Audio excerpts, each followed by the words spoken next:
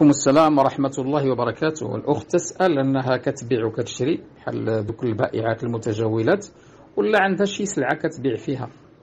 وطبعا أن المنتوجات أو المبيعات اللي كتعرض للبيع يعني ماشي شي حاجة ذات جودة عالية كما تقول في السؤال ديالها. إنما السلع تنقسم إلى ثلاث أقسام. كاين جودة كاين الرداء كاين المتوسطة. ولكن هاد السيدة كتبيع شي منتوج اللي ما مزيانش. رداء يعني ما دايرة والو ديشي اللي تنقولوا حنا يعني. ولكن فاش كتبيع للناس الناس اللي تيبغيو يشرو من عندها تيسولوها واش هذه جودة ولا ما جودة. وهي كتعرف بانها شرتها ماشي جودة وكتبيع على تتبيعها على أنها جودة. بمعنى اشترتها ماشي جودة ولكن فاش كتبيع للناس كتبيع لهم على أنها جودة. كان اللي تيشري من عند تيرجع عندها تيقول له ودي هذه السلعة هذه راه ما دايرة والو.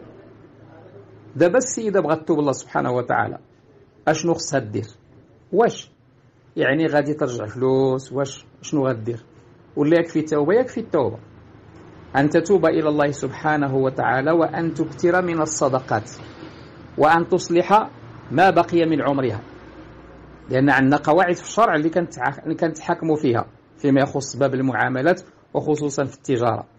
سيقول النبي عليه الصلاة والسلام البياعان على الخيار ما لم يتفرقا فإن بينا وصدقا بورك لهما في بيعهما وإن كتما وكذبا محقت بركة بيعهما.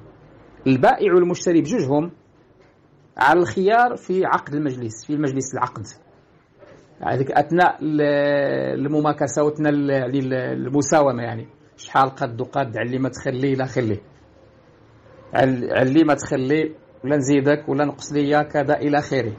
محذوف مجلس العقد.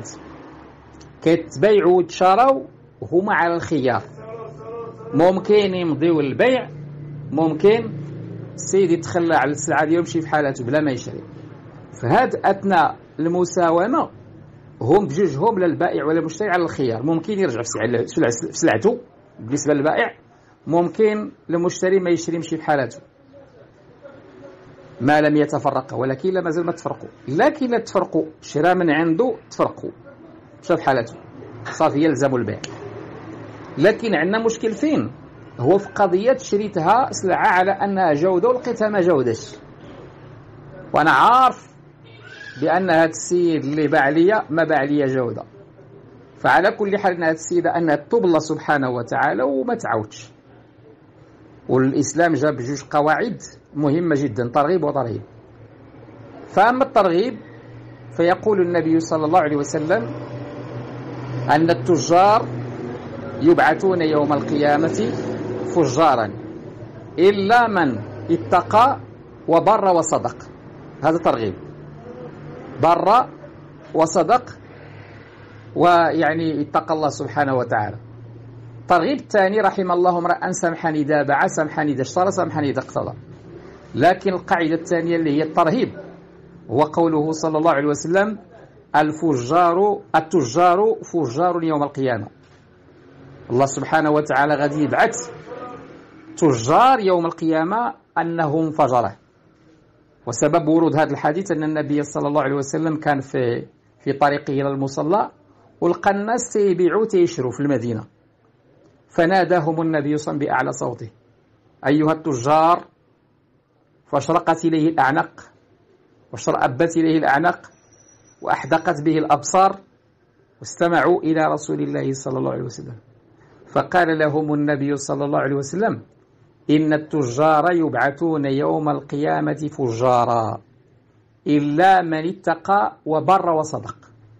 أي تاجر تاجر في أي منتوج من المنتوجات كيبيعها إلا وغادي يبعث الله عز وجل يوم القيامة على نيته.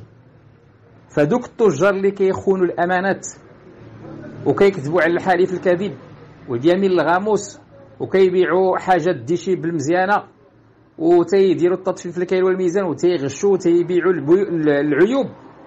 غادي يبعثهم الله عز وجل فجار والعياذ بالله. إلا ماشي كله إلا دوك الناس اللي هم فيهم تقوى فيهم بر فيهم صدق. إلا من اتقى إلا اللي اتقى الله سبحانه وتعالى في بيعه وشرائه كيراقب الله عز وجل في المعاملات ديالو وبر بمعنى بر في يمينه حتى إلا اقتضى الحال أنه يحلف تيحلف على المعقول تيحلف على داك الشيء اللي كاين. وصدق صدق في قوله وصدق في فعله. مع أن كثرة الحليف البيع والشراء ما يجوز. لذلك أن هذه السيدة أنها تطوب الله سبحانه وتعالى توبة نصوحة وتكثر من الصدقة لأن في حديث آخر أن النبي صلى الله عليه وسلم يوصي التجار بكثرة الصدقة. لما يعتري, صد... لما يعتري تجارتهم من الخلل. والله